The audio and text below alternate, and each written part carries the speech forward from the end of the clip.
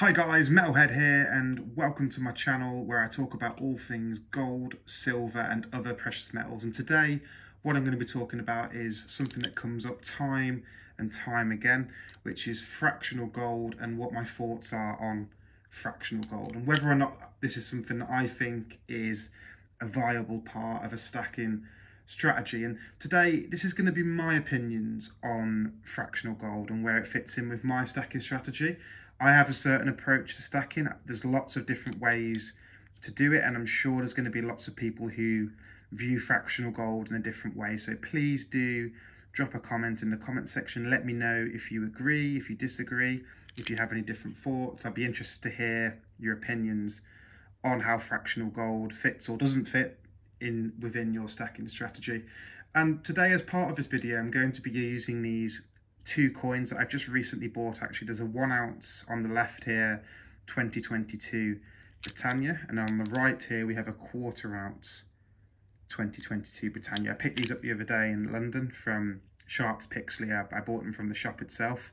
Uh, and I'll be talking about these coins on another video, so keep an eye out on my channel uh, where I'll have a, a bit of a deeper dive on these coins specifically.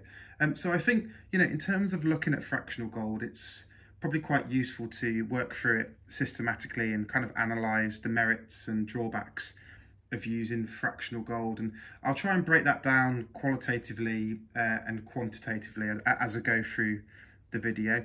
I mean starting with really, I mean what do we actually mean by fractional gold in the first place and my understanding really of what we mean is anything below a one ounce gold coin I would categorize personally as fractional gold. So, you know, with most coins, including the Britannia, you have your one ounce followed by a half ounce, a quarter ounce like this one, and a tenth ounce. And I, I would personally categorize anything below this one ounce point as being fractional.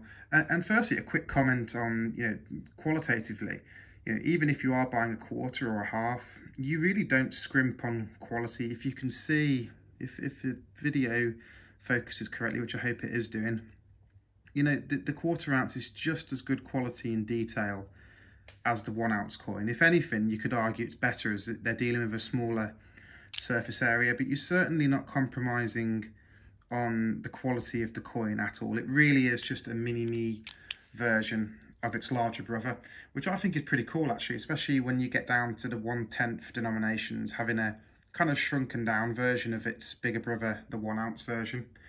And, you know, why would you actually buy fractional gold, I suppose is the question. I mean, certainly I've had my reasons in the past. And I know, you know, for those who are just starting out in stacking, it can be quite, you know, a, a big deal to go straight and straight into the one ounce territory on gold. I mean, right now, one, a one ounce of, a one ounce coin rather, of gold is coming in well over a thousand pounds.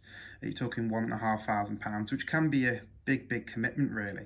So I think a lot of people will buy fractional gold as a, you know, first dip in the pond of uh, buying gold because as I'll touch on uh, in a few minutes, um, the price points can be a lot more attractive uh, on, on the fractional side. I mean, to state the obvious, it's because you're buying less gold, of course, and there are drawbacks to that, and I will touch on them in a moment. And Another reason why you might want to look at fractional gold is for gifts and presents. I mean, I certainly haven't ever received um, a quarter ounce or a sovereign as, as a gift, but I know people do do that, and it just gives a bit more of an attractive price point for a, for a gift, be it a birthday present or a Christmas present. Um, so, so I think that's another reason why you might look at um, buying fractional gold.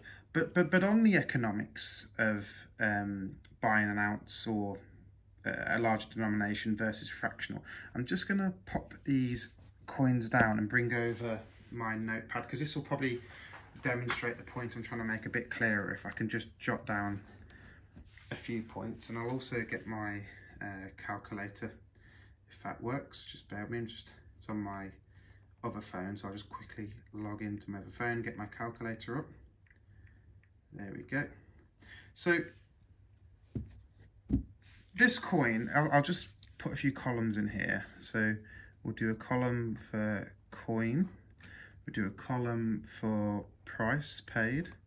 We'll do a column for spot. and then premium, and then premium as a percentage. Because the point I'm going to make is when you do buy fractional gold you tend to pay a much higher premium than you do for buying a one ounce coin for example. So to give you an example um, the one ounce coin here I bought this the other day as I say from Sharps Pixley and I paid £1,543 and on the quarter ounce coin I paid let me just check my records here yep 400 and fourteen pounds, And on them days when I bought them coins, uh, just to give some perspective here, the spot price on gold was £1,468 an ounce. So the intrinsic value of the gold contained in this coin is worth that. If you just melted the coin down, that's how much it would be worth. And then, so if you divide that by four to give us the quarterly price, um, I have got a note of this somewhere. It would be 367 pounds.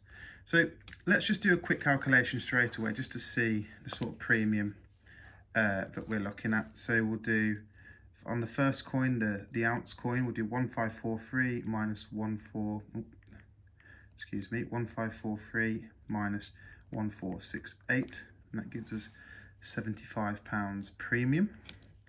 And then on the quarter ounce, we'll do 414 minus 367, and that's 47 pounds premium. And to, to perhaps make that a bit clearer, because them numbers are a bit meaningless, let's do uh, the percentages.